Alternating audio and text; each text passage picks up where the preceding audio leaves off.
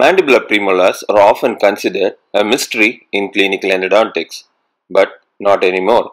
In this endotale, we come up with a simple endodontic life hack that will help you handle any of these variations in a simple and predictable way.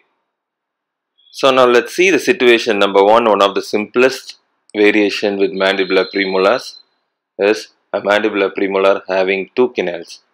So when there are just two canals, you will clearly see that the outline of the root is just conical. So this is the same outline that a mandibular premolar will have when it has just a single canal. But the difference is that the root canal will be pretty wide and patent visible on the radiograph. But here we can see that the root canal is not clearly wide and it is wide in the beginning when it starts in the pulp chamber but when it reaches the coronal third of the root we can see that the canal is suddenly disappearing which is suggestive of the canal bifurcating. So the canal is clearly bifurcating from almost the coronal third which is at least 7 to 8 millimeters below the floor of the pulp chamber which is usually the reach with your conventional burrs. So when we do an access with the traditional burrs, it's impossible for us to deroof or reach till the point of split and negotiate the extra canal which is generally lingual which is often missed. So this is where we need some special aid for us to reach till there. At the same time, you should also be cautious not to perforate. So one possible, one easy way for practitioners is to use or buy a long neck burr which can either be attached to a contra-angle handpiece or there are some long neck burrs that can be attached to the aerator as well. So you can see a long neck burr here in action. So basically the long neck burr not only works little deeper than the conventional burr. Since the shaft is longer, it does not hide the vision when the operator is working. The other option are diamond coated ultrasonic tips that are thin and long and also a similar ultrasonic concept but with a different design is StartX ultrasonic tips from Dentsply and we'll be specifically topic, talking about the StartX number 1 and StartX number 2. So how is the StartX different from diamond coated tips is that these STAT X are basically stainless steel instruments and they do not have any diamond coating but instead they have micro blades in them. And because of this the cutting efficiency is much improved. The debris accumulation can be cleared easily and the blades have a very longer life. And we can see that studies have shown that they produce a much smoother cut surface and they're also more efficient and aggressive compared to a diamond coated ultrasonic tip. So StartX generally has these micro blades in them. So the difference between StartX number 1 and StartX number 2 is that StartX number 1 is actually meant for access cavity refinement and it has a blunt tip meaning this tip can be only used for access refinement whereas StartX number 2 not only can be used for access refinement as they also have their blades on the lateral side StartX number 2 has an additional active tip so I prefer this one because I can use this one tip for both access refinement and also removal of pulp stones or troughing for extra canals like MB2. So these are the options that we have. We have long neck burrs. One example is Messinger burr or if you do not have anything even a Peeso reamer can do the job to an extent because it is longer and it also cuts laterally.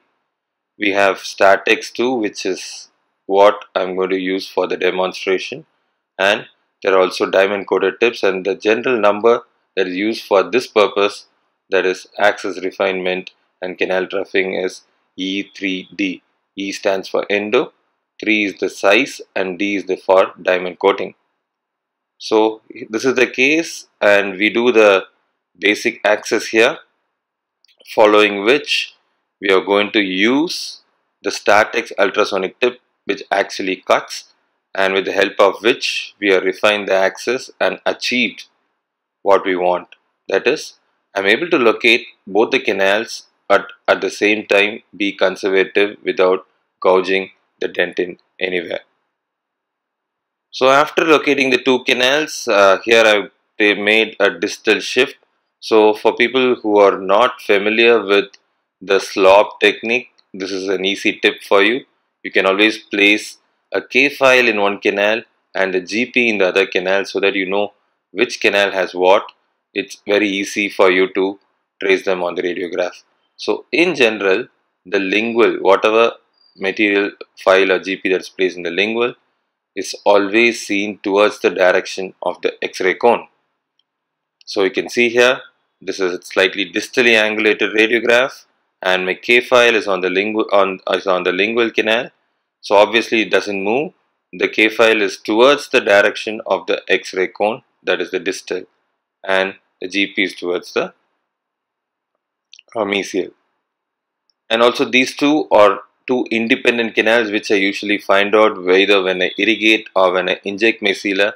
When there is a communication between the two canals, when I inject sealer into one, the sealer comes out through the other and I can see the sealer flowing into the other canal. But here, when I'm injecting into the buccal, I don't see anything coming, which means they have two separate portal of exit and they do not have any communication which is confirmed with my post-operative radiograph.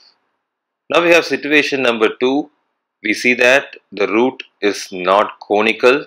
We can see that there are two bifurcating roots which means that these cases are generally at least have minimum of three canals and you can see a huge pulp chamber that goes deep down till the middle third and after that bifurcation starts. So here again we do the basic access and my StartX2 is used for deroofing and magnification plays an important role. People who don't use magnification can at least use an intraoral camera to click a picture and to see where you are. So we can clearly see all the three canals. There are two buccal canals and a large lingual canal. Locate them and this is how we manage it. So apart from knowing about how we manage these mandibular premolars, I'm also going to talk about a new instrument to most of you that is the StartX2 tip. Yes, it's one instrument that is worth investing on and the advantage is uh, this comes with which is compatible with both Satelec scaler and EMS scaler. So you need to just mention that when you buy it. They are available for both scalers for Satelec and EMS thread.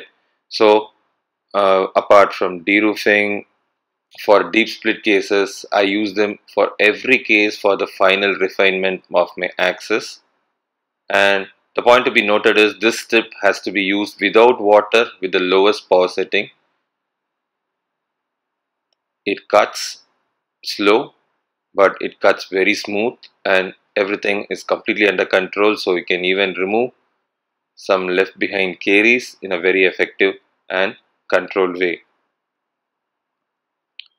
So we have another situation. So I do all my basic access with the burrs and then I start refining with my StartX2 without water in a very low power setting so you can actually see that I'm refining the irregular walls.